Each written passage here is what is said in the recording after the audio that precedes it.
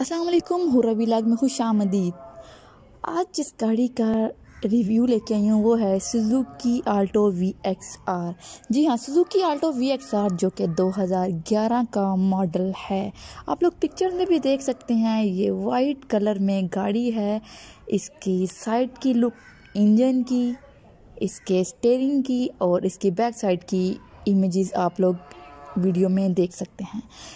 इसकी मज़ीद डिटेल से पहले मैं आपसे रिक्वेस्ट करूँगी, अगर आपने मेरा चैनल हुरा ब्लॉग को सब्सक्राइब नहीं किया तो प्लीज़ प्लीज़ प्लीज़ इसे सब्सक्राइब कर लें और साथ में लगे घंटी के बटन को प्रेस कर लें ताकि हर आने वाली वीडियो का नोटिफिकेशन आपको सबसे पहले मिलता रहे।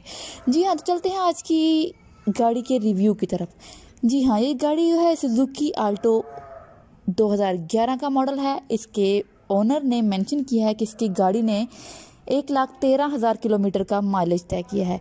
ये गाड़ी पेट्रोल और गैस दोनों पे चलती है। यूज़ कंडीशन में है रजिस्टर्ड रावलपिंडी की है और इसका जो नंबर प्लेट है, वो भी रजिस्टर सॉरी रावलपिंडी की है।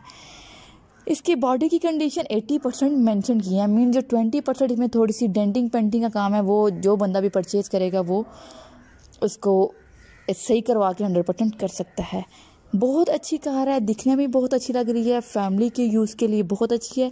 और इसकी जो डिमांड ऑनर की तरफ़ से मेंशन है, वो है आठ लाख बीस हज़ार, यानी कि एट लाख ट्वेंटी थाउज़ेंड इस गाड़ी की डिमांड है। इसके ऑनर से रबता करने के लिए आप लोग को को जो लिंक है, वो डिस्क्रिप्शन मिल जाएगा। कॉन्टैक्ट लिंक के आगे एक लिंक है, उसको आप क्लिक करें और इसके मालिक से रबता कर लें। इसके ऑनर से आपको कॉन्टैक्ट करके सारी डिटेल्स आपको लेनी होंगी और सारी तसल्ली करनी होगी कि आया ये गाड़ी, इस गाड़ी को परचेज़ करने के बाद आपको किसी किस्म की कोई लीगल या किसी भी किस्म का इशू तो नहीं।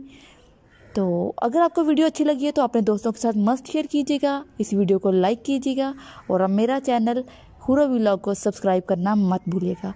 मिलते हैं अगली वीडियो में, तब तक हाफिज़।